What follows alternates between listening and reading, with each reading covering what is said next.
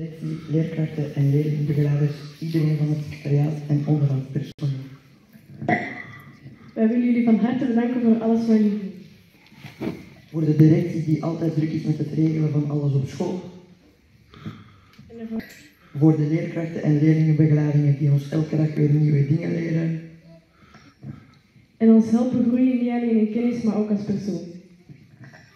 Voor iedereen van het secretariaat, de stille kracht achter de schermen. Die ervoor zorgen dat alle, alles op rolletjes loopt, zelfs als wij het niet zien. En ook voor het onderhoudspersoneel dat onze show blinkend houdt. Zodat wij elke dag in een propere omgeving kunnen. Samen maakten jullie onze scholen tot een plek waar we graag kwamen.